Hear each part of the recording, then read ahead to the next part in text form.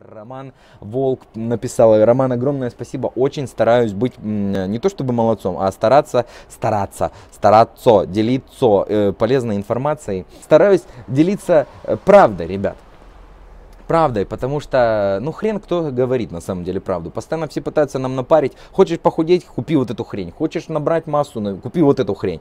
Нафиг вам ничего не нужно. Здоровые, нормальные продукты. И самое, самое, ребята, важное, что вам нужно, это знание. Знание это ключ к здоровью, знание это ключ к силе, к долголетию и к тому, чтобы и детям своим, и родственникам помочь стать лучше и дольше и качественнее жить, это только знание. Сахар-песок у нас делается рафинированный сахар. Это это синтезированный, синтезированное белое рафинированное зло. Вот иначе я его назвать никак не могу. Вот синтезированное белое зло в виде белого сахарного сахарного сраного тростникового, из э, сахарного буряка, из кукурузы, из чего угодно синтезируют белый сахар, который э, является источником главным источником проблемы. Инсулиновый индекс 100 у сахара и у глюкозы, э, при условии, что у, например, сахарный тростник это очень полезная штука, которую, когда вы используете в пищу, она содержит и массу минералов, и витаминов, и э, клетчатка в ней находится, и незаменимые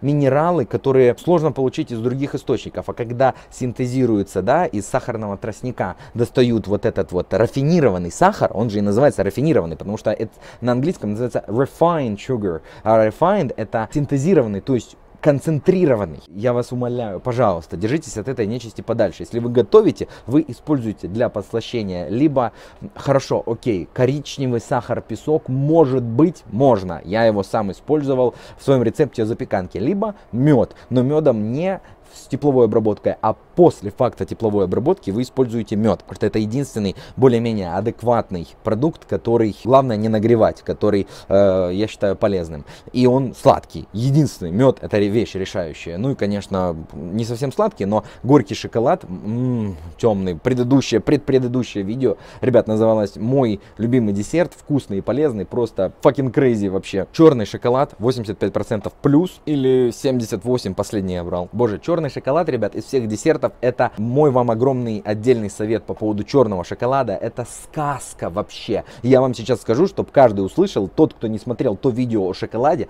ребята, если у вас есть ломка к углеводам и есть ломка к, как они называются, к десертам, пожалуйста, во-первых, посмотрите то видео, а во-вторых, ребята, используйте в своей диете черный шоколад 78, 80, 85, 90 процентов какао содержания. Это фантастический продукт, во-первых, с потрясающими антиоксидантными действиями. То есть он борется с раком.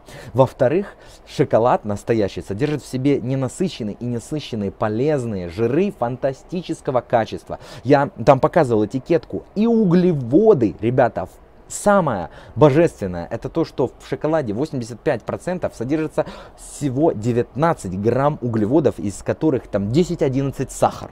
Вы понимаете, что из плитки шоколада вы получаете всего чайную ложку сахара. И то это медленный сахар, это сахар, который будет поднимать сахар в крови не так быстро, как молочный шоколад или какая-нибудь нечистая нутелла, потому что э, углеводы, которые вы получаете из черного горького шоколада, они связаны с жирами из этого же черного горького шоколада, и он тормозит процесс пищеварения драматически. И любой человек, который не может отказаться от десертов, я вас 3000 раз заклинаю, умоляю вас, пожалуйста, включайте черный шоколад, 85% плюс.